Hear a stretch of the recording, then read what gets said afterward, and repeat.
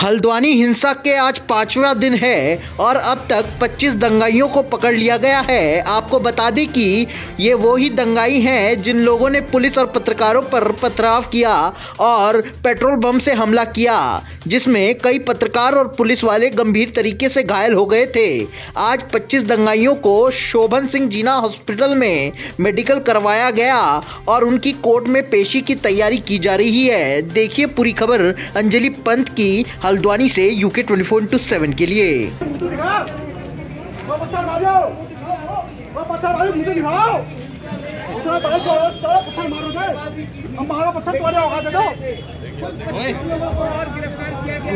को यही वो आरोपी है जिन्हें पुलिस ने बनफूलपुरा में जो थाने पे आगजनी और अतिक्रमण के दौरान जो उपद्रव की घटना हुई थी उसमें आप सबको जैसे पता हमने तीन एफआईआर रजिस्टर की है। इन तीनों एफ़ में अलग अलग इन्वेस्टिगेशन टीमें हैं। उन्होंने अपनी इन्वेस्टिगेशन शुरू की और हमने पिछले 24 घंटे में इन तीनों एफ़ में मिला के पच्चीस लोगों की गिरफ्तारियाँ की है।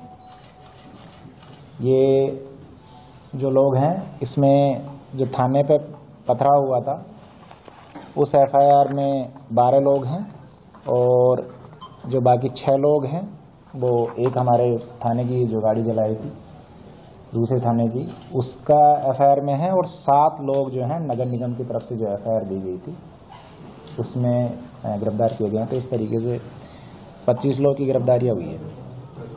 इन 25 लोगों के कब्जे से अगर देखा जाए तो अलग अलग जगह से और अलग अलग अभियुक्तों से हमने सात तमंचे, जो कंट्री मेड वेपन होता है, वो बरामद किया। और फिफ्टी फोर लाइव राउंड जो है, वो इनके पोजीशन से बरामद हुए हैं, जो इन्होंने अपने वहाँ पे अपने साथ में रखे हुए थे। इसके साथ ही थाना बनफूलपुरा में भी जब अटैक हुआ था तो जब ये उपद्रवी वहाँ पे हैं तो इन्होंने वहाँ से भी कुछ जो गवर्नमेंट एमुनेशन है वो अपने कब्जे में लिया था।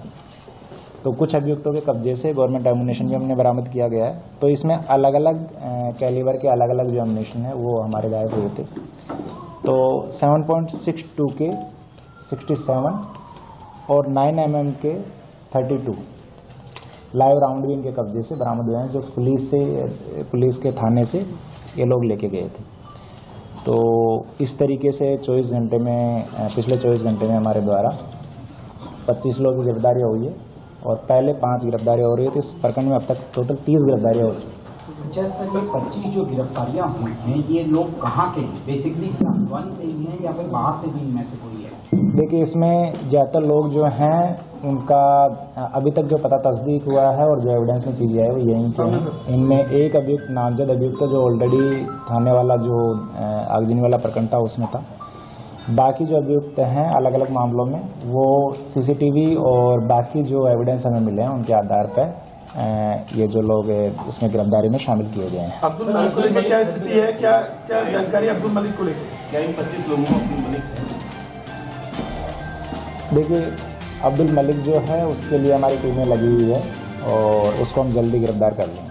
सर ये जो आपने क्या बताया है? ये सब थाने से वो लेकर गए थे या उनके पास से वैसा भी बरामद हुआ है? जो ये आप चीज़ें बता रहे हैं।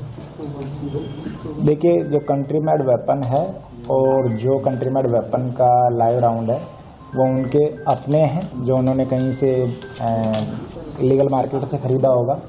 बाकी जो गवर्नमेंट का एमिनेशन है सेवन पॉइंट सिक्स टू और नाइन एम वो थाने का एमिनेशन है जो हमने उनके कब्जे से बरामद किया।